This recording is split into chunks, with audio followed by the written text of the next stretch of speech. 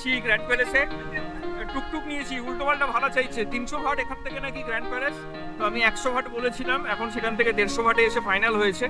তো দুটো গাড়ি নিতে হয়েছে, আমাদের পিছনে একটা গাড়ি আসছে। ব্যাংককের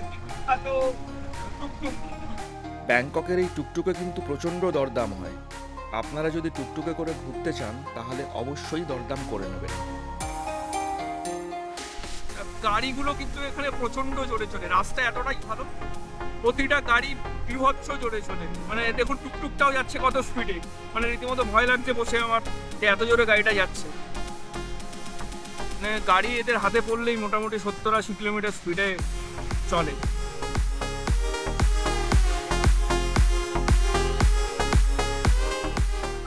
আমরা এসে পৌঁছালাম, টুকটুকে করে এসে পৌঁছালাম। মার্বেল টেম্পল থেকে ফিফটিন মিনিটস লাগল আমাদের গ্র্যান্ড প্যালেসে আসতে। তো এখন আবার এরা বলছে গ্র্যান্ড প্যালেস নাকি বন্ধ হয়ে যাবে কিছুক্ষণের মধ্যেই। তো আমরাও চাইছি একটু তাড়াতাড়ি করতে। যাচ্ছি এখন টিকিট কাউন্টারে টিকিটটা কেটে নিই।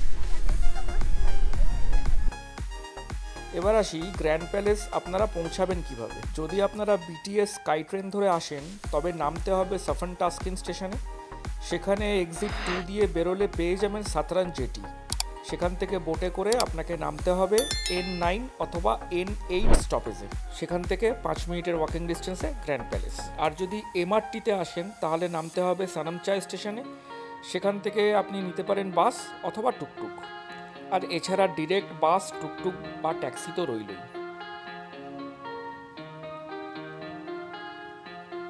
আমরা টিকিট কাউন্টারে যাচ্ছি। ওখান থেকে এন্ট্রি নিল এন্ট্রি করলাম। ওখানে একটা চেক পয়েন্ট আছে। তো চেক পয়েন্টে এন্ট্রি করে এখন যাচ্ছি গ্র্যান্ড প্যালেসের দিকে।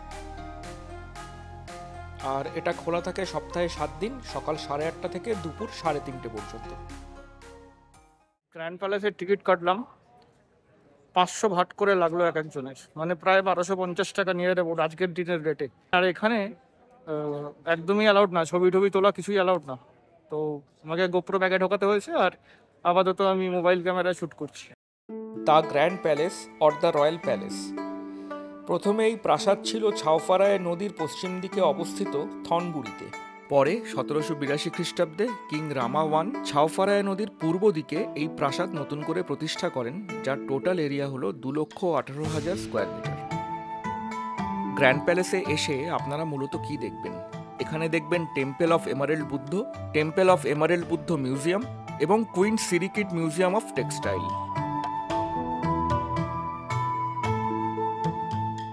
এই গ্র্যান্ড প্যালেসের টিকিটের কিন্তু অ্যাকচুয়ালি তিনটে পার্ট প্রথম পার্টে আপনারা এই তিনটে জিনিস দেখবেন, দ্বিতীয় পার্টে আপনারা দেখবেন the arts of the kingdom museum যেটা আয়ুথায় অবস্থিত এবং এটা কিন্তু এই টিকিট কাটা সাত দিনের মধ্যে আপনাকে দেখতে হবে। মানে যেদিন আপনি টিকিট কাটবেন, সেদিন থেকে সাত দিন ভ্যালিড থাকবে এই মিউজিয়ামটা দেখার জন্য। আর তৃতীয় পার্টে দেখবেন খনথাই ক্লাসিক্যাল মার্কস ডান্স যেটা সোমবার থেকে শুক্রবার হয় এবং তিনটে শো হয় দুপুর একটা, দুপুর আড়াইটে এবং চারটের সময়। আর এটা কোন থিয়েটারে দেখানো হয় তার নামটা আমি নিচে দিয়ে দিচ্ছি। The temple of emerald Buddha. এই এমারেল্ড বুদ্ধ হল সারা পৃথিবীতে অন্যতম পবিত্র মন্দির। থাইল্যান্ডের মানুষ কিন্তু সাংঘাতিক ভক্তি করে এই এমারেল্ড বুদ্ধকে। নামে এমারেল্ড বুদ্ধ হলেও আসলে কিন্তু এমারেল্ড পাথরের তৈরি নয়। অরিজিনালি এটা জ্যাসপারেট তৈরি করা। আর এটার হাইট হলো ছেষট্টি সেন্টিমিটার। খ্রিস্টপূর্ব চল্লিশ থেকে পঞ্চাশ শতকে এই মূর্তি তৈরি করা হয় ভারতবর্ষের পাটনাতে। আর তৈরি করেছিলেন নাগসেনা নামে একজন বৌদ্ধ সন্ন্যাসী। তার প্রায় পাঁচশো বছর পরে এই বুদ্ধ মূর্তি চলে যায় সিংহলে, যার আজকের নাম শ্রীলঙ্কা। বহু বছর পর মায়ানমারের রাজা এই বৌদ্ধ মূর্তিটি চেয়ে পাঠিয়ে অনুরোধ করেন সিংহলের রাজাকে। সিংহল থেকে বৌদ্ধ মূর্তিটি যখন জাহাজে করে নিয়ে যাওয়া হয়, তখন দিকভ্রষ্ট হয়ে সেই জাহাজ গিয়ে পৌঁছায় কম্বোডিয়ায়। এরপর চোদ্দোশো বত্রিশ খ্রিস্টাব্দে থাইল্যান্ড যখন কম্বোডিয়া দখল করে, তখনই এমারেল বুদ্ধ চলে আসে থাইল্যান্ডে। প্রাথমিকভাবে এমারেল বুদ্ধ রাখা ছিল থাইল্যান্ডের পুরনো রাজধানী আয়ুত্থায়াতে এবং সতেরোশো বিরাশি খ্রিস্টাব্দে যখন এই রাজপ্রাসাদ তৈরি হয়, তখন এমারেল বুদ্ধকে এখানে প্রতিষ্ঠা করা হয়। তো এই হলো এমারেল বুদ্ধর পুরো হিস্ট্রি এই ছবিটা আমার তোলা নয়, এটা গ্র্যান্ড প্যালেস থেকে নেওয়া। বাট এটা আপনাদের দেখানোর প্রয়োজন মনে হলো, তাই আমি দেখালাম। ব্যাপারটা হলো এখানে আপনারা তিন রকমভাবে এমারেল বুদ্ধকে দেখতে পাচ্ছেন। একদম বাদিকেরটা হচ্ছে সামার সিজনের মাঝখানেরটা হলো রেনি সিজনের জন্য, আর একদম ডান দিকেরটা হলো উইন্টার সিজনের জন্য। খেয়াল করলে দেখবেন সামার সিজনে বুদ্ধর গায়ে কিন্তু কোনো চাদর নেই রেনি সিজনে হাফ চাদর, এবং উইন্টার সিজনে কিন্তু ফুল চাদর। আর এই যত গয়না, গাটি, চাদর, ওপরের যে ঝাড় এই সব কিছু কিন্তু সোনার তৈরি।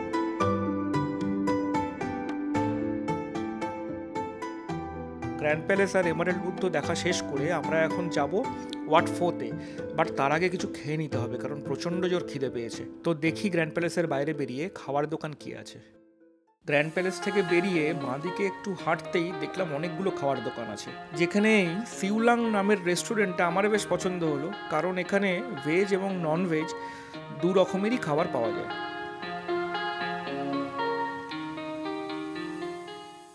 Fried chicken normal fried rice সঙ্গে একটু শশা দিয়েছে লেবু দিয়েছে।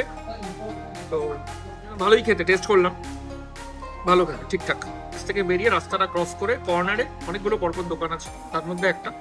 এখানে ভেজিটেবল মানে ভেজও পাবেন নন ভেজও পাবেন ভেজ রাইসও পাবেন এখানে। রেস্টুরেন্টটায় খাচ্ছিলাম, তো এটা তার রান্নাঘর। আসুন দেখি।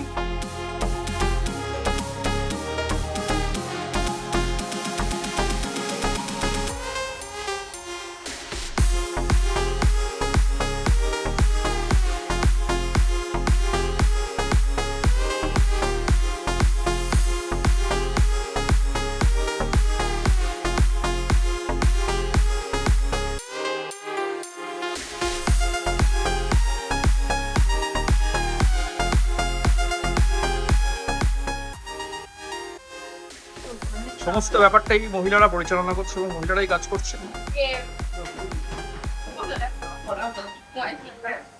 সবাই ব্যস্ত ভীষণ এখানে।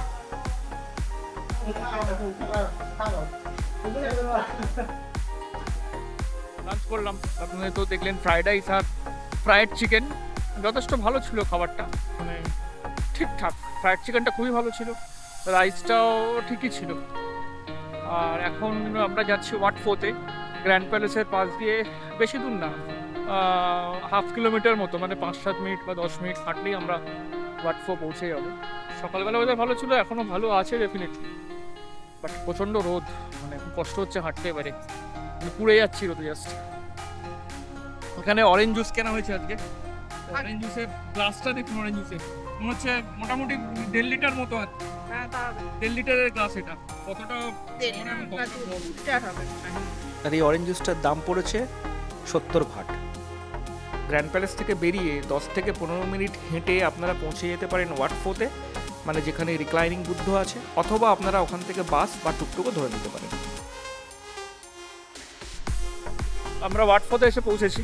এটা ঠিক গ্র্যান্ড প্যালেসের পিছন সাইডটা গ্র্যান্ড প্যালেসের ব্যাক সাইডটা গ্র্যান্ড প্যালেস থেকে হেঁটে আসতে আমাদের দশ মিনিট মতো টাইম লাগল। ও এটা মোটামুটি সপ্তাহে হ্যাঁ সপ্তাহে প্রতিদিনই ওপেন থাকে। সকাল নটা থেকে বিকেল ছটা অবধি। কারণ ভিতরে যাই আগে টিকিটটা কাটি।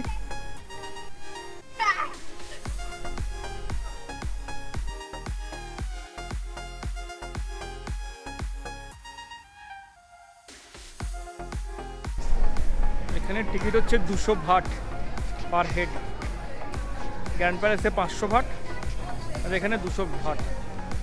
ভালোই বেশ ব্যাপারটা।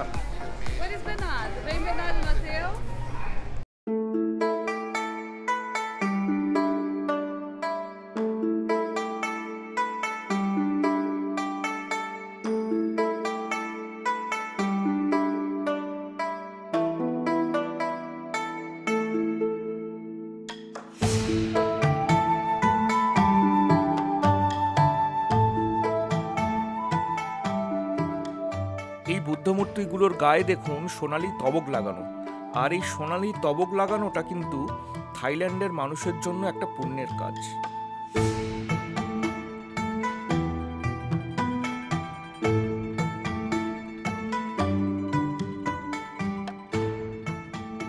ওইখানে একটা গণেশ মূর্তি লক্ষ্য করছেন? বুদ্ধের সাথে সাথে কিন্তু গণেশেরও পুজো হয় এখানে। থাই কালচার আর ভারতীয় কালচার কিন্তু এখানে ওতপ্রোতভাবে মিশে গেছে।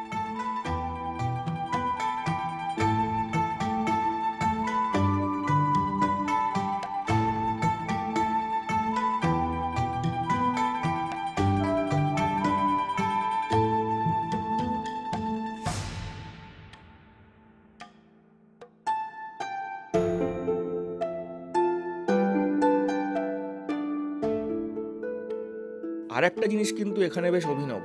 নিজের জুতো কিন্তু এখানে নিজেকেই ক্যারি করতে হয়। এই দেখুন, এখানে রয়েছে জুতোর ব্যাগ এই ব্যাগেই জুতো ভরে নিয়ে আপনাকে নিজেকে ক্যারি করতে হবে। কারণ এখানে কিন্তু বেশ ছিঁচকে চোরের উপদ্রব আছে। তাই জুতোর সাথে সাথে ব্যাগও খুব সাবধান।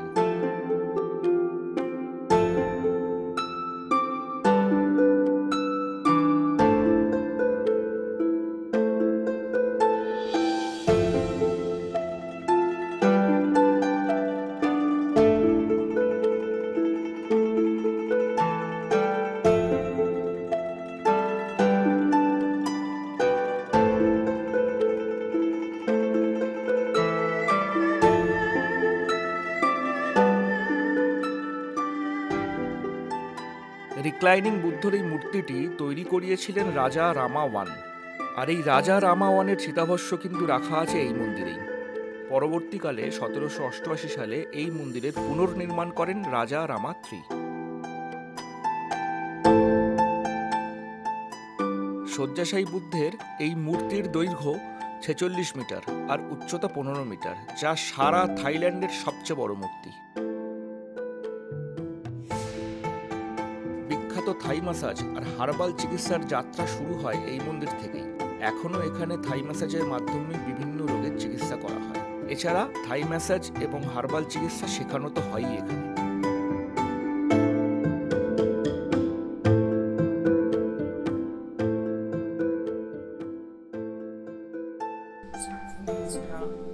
আমরা ওয়াট ফোর টিকিট কেটেছিলাম। তো এই টিকিটের সঙ্গে একটা করে জল ফ্রি আছে। তো ওখানে গেলে আমাদের দিল্লি এয়ারপোর্টে বা কলকাতা এয়ারপোর্টে এখন পাওয়া যায়। যে ভেন্ডিং মেশিনগুলো আছে, যেখানে কোল্ড ড্রিঙ্কস পাওয়া যায়, আপনি পয়সা ফেললে হবে, পয়সা ফেললে কোল্ড ড্রিঙ্কস বা চিপস এগুলো বেরোয়।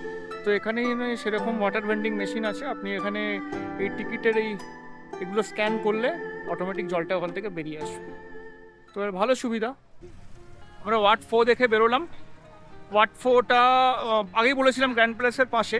আর এর নিয়ারেস্ট মেট্রো স্টেশন হলো সানাম চায় তো আপনি যেখানেই মানে ব্যাংককের যেখানেই থাকুন না কেন যদি আপনি ওয়াট ফো আসতে চান তাহলে আপনি আহ, সানাম চায় স্টেশনে নেমে বিটিএস স্কাই ট্রেন ধরে এসে সানাম চায় স্টেশনে নেমে walking distance four to five minutes আপনি এখানে আসতে পারেন। অথবা আপনি ছায়াফায়ার ছায়াফারায় রিভার ধরে মানে ছায়াফারায় নদীতে বোটে করে আপনি এখানে আসতে পারেন। তো আমি এখন ফেরিঘাটেই যাচ্ছি কারণ আমি যাব এখন ওয়াট আরুনে তো ওয়াট আরুন যেতে হলে আমাকে নদীটা ক্রস করতে হবে। আর নদীটা ক্রস করার সব থেকে ইজিয়েস্ট ওয়ে হচ্ছে এখান থেকে ফেরি নিয়ে নেওয়া। নাহলে গাড়ি করে অনেকটা ঘুরে যেতে হবে। তো আমরা এখন, আমি এখন ওইদিকেই যাচ্ছি। বাট দুটো রাস্তা, এক হচ্ছে আপনি সাফান টাস্কিন মেট্রো স্টেশন থেকে ছাওফারে রিভার দিয়ে ফেরি ধরে আসতে পারেন ওয়াটারুনে অথবা আপনি ডিরেক্ট বিটিএস স্কাই ট্রেন ধরে সানামচা স্টেশনে নেমে ওখান থেকে আসতে পারেন। এইখানে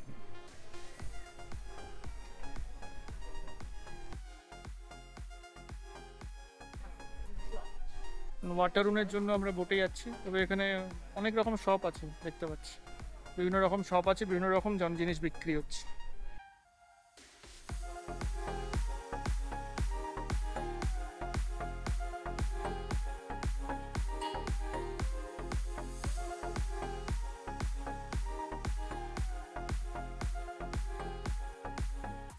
অ্যাকচুয়ালি পুরো ব্যাপারটা আমি যেটা বুঝলাম যে এই পুরো ব্যাপারটা জলের ওপরে মানে যেখান থেকে আমরা কাঠের রাস্তায় ঢুকলাম, সেখান থেকে এই পুরো ব্যাপারটা জলের ওপরে, আমরা আসি এখন জলের ওপরে।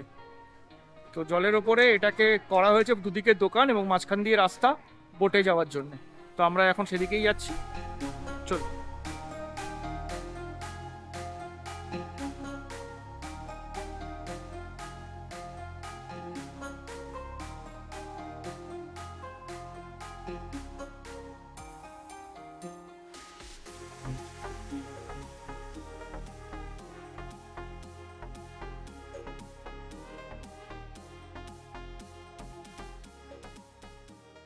আমরা আপাতত ফেরিতে উঠেছি, ফেরির ভাড়া নিল এখানে ফাইভ ভাট, পাঁচ ভাট করে ফেরির ভাড়া নিল। একটা সুন্দর জিনিস দেখাচ্ছে আপনার দেখুন লং টেল বোটটা দেখুন এখানকার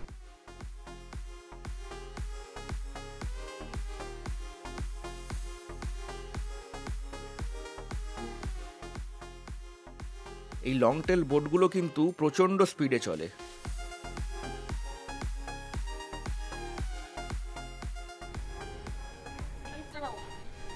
ওয়াটারুন এখান থেকে দেখাই যাচ্ছে। আমাদের এই এটা পার হতে যতক্ষণ সময় লাগে পাঁচ দশ মিনিট আর কি।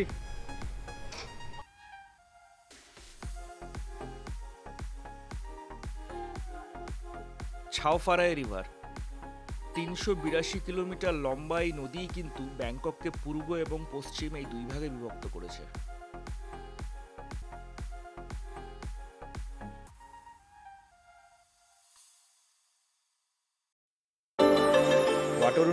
পরে টিকিট কাটতে হলো একশো ভাট দিয়ে। আর এখানেও কিন্তু একশো ভাটের এই টিকিটের সাথে পাওয়া গেল একটা জলের বোতল। এন্ট্রি গেট দিয়ে ঢুকে টিকিট কেটে প্রথমেই ডান দিকে পড়ল একটা বুদ্ধ মন্দির।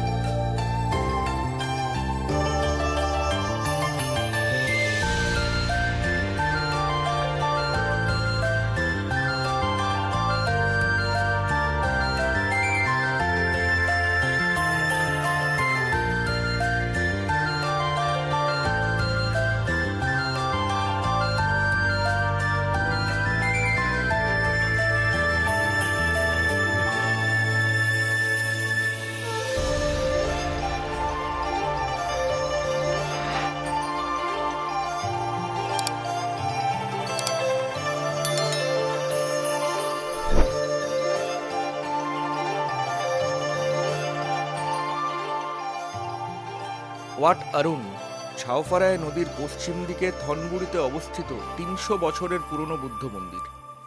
হিন্দুদের দেবতা অরুণ মানে সূর্য দেবতা থেকেই এর নামকরণ করা হয়েছে।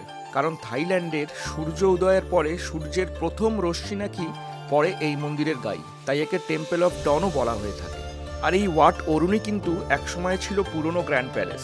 সতেরোশো বিরাশি খ্রিস্টাব্দে গ্র্যান্ড প্যালেস নদীর পূর্ব দিকে শিফট হওয়ার পর এটা বহুদিন বন্ধ হয়ে পড়েছিল।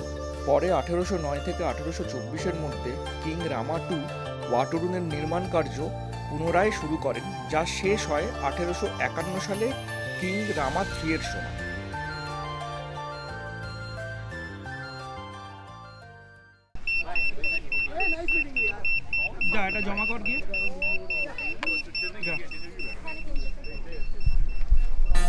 এই যে জিনিসটা দেখলেন, যেটা ব্লিঙ্ক করছে, এই যে চাকতিটা আছে আমার হাতে। তো আমি এখানে দুটো ফ্রেঞ্চ ফ্রাইস অর্ডার করেছি আর সঙ্গে একটা কফি অর্ডার করেছিলাম।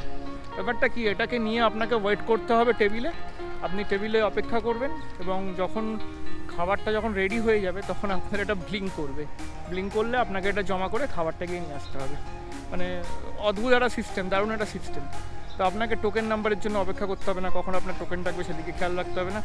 আপনি গিয়ে চুপচাপ টেবিলে বসুন, বাকি সবার সাথে গল্প করুন, আপনার খাবার তৈরি হয়ে যাবে, তো আপনার এটা অটোমেটিক্যালি ব্লিঙ্ক করতে শুরু করবে। আপনি যাবেন, খাবারটা ক্লেম করে নেবেন। ওয়াটরুনে আসলে কিন্তু অবশ্যই ফ্রেঞ্চ ফ্রাই আর রিং অনিয়ন ট্রাই করবেন, দারুণ টেস্ট এখানে অনেকেই দেখছি এই ড্রেসগুলো পরে ছবি তুলছে। এগুলোর ভাড়া মোটামুটি ছশো থেকে সাতশো ভাট চাইবে হয়তো বাট এখানেও কিন্তু প্রচণ্ড বার্গেনিং হয়। আমি তিনশো ভাটে ভাড়া নিয়েছি মেয়ের জন্য। আমরা এই ওয়াটারুম থেকে বেরোলাম এক্ষুনি। তো ওয়াটারুম থেকে বেরিয়ে আমরা এখন যাচ্ছি সাতরান। তো সাতরান থেকে আমরা স্টিফেন তাস্কিন স্টেশনে যাব। স্টিফেন তাস্কিন স্টেশন থেকে আমরা বিটিএস স্কাই ধরে সানাম্পাও মেট্রো স্টেশন যাব। ওখানেই আমাদের হোটেল। আমরা ওয়াটারুনে এসেছিলাম একটা বোটে করে, সেটার ভাড়া ছিল ফাইভ ভাট পাঁচ ভাট আর এখন একটা বোটে করে আমরা ফিরছি এটা এসি বোট ওটা নন এসি আর খুব নর্মাল বোট ছিল, এটা এসি ওটা অ্যাকচুয়ালি গভর্নমেন্ট বোট ছিল, আর এটা এসি প্রাইভেট বোট তো এটার ভাড়া টোয়েন্টি ভাট করে।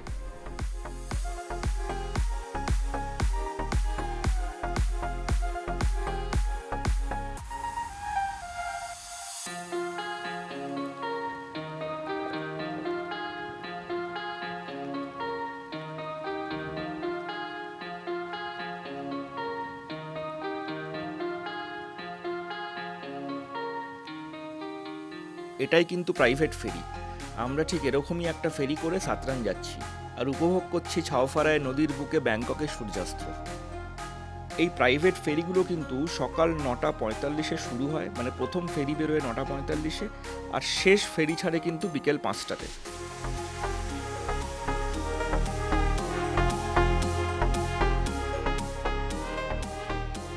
ছাওফারায় নদীর পশ্চিম প্রান্তে যে বড় বিল্ডিংটা আপনারা দেখতে পাচ্ছেন, এটাই কিন্তু আইকনসিয়াম মল। আইকনসিয়াম মল হলো one of the biggest mall in Bangkok যেখানে ছোট বড় মিলিয়ে প্রায় হাজারের ওপর দোকান আছে। আমি নিশ্চয়ই দেখব আর আপনাদেরও দেখাবো। আর এই আইকনসিয়ামের কিন্তু নিজস্ব ফেরিও আছে, যেটা আপনি সাতরান থেকেই পেয়ে যাবেন।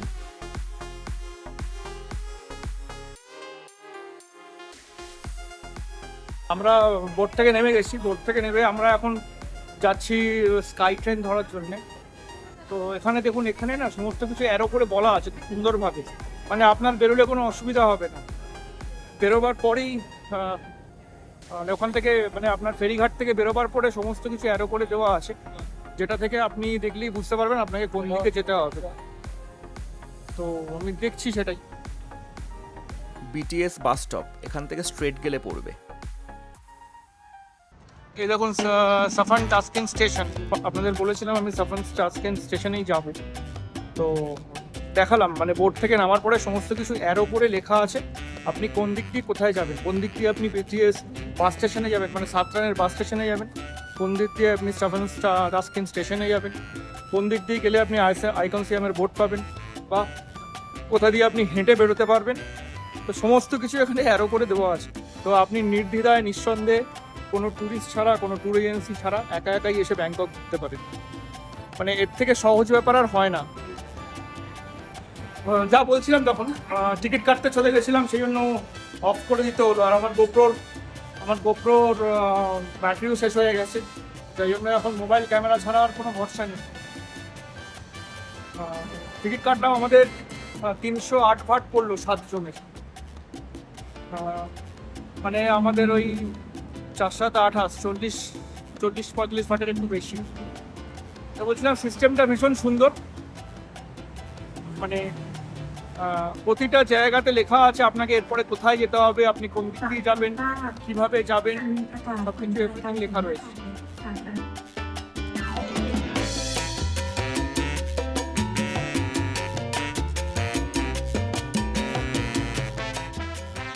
স্টেশনে এসে দু মিনিট দাঁড়াতেই এসে পড়ল ট্রেন। আর সেই ট্রেনে চেপে আমরা এগিয়ে চললাম হোটেলের দিকে। আজকের ভিডিও তাহলে এই পর্যন্তই। দেখা হবে আবার আগামী ভিডিওতে।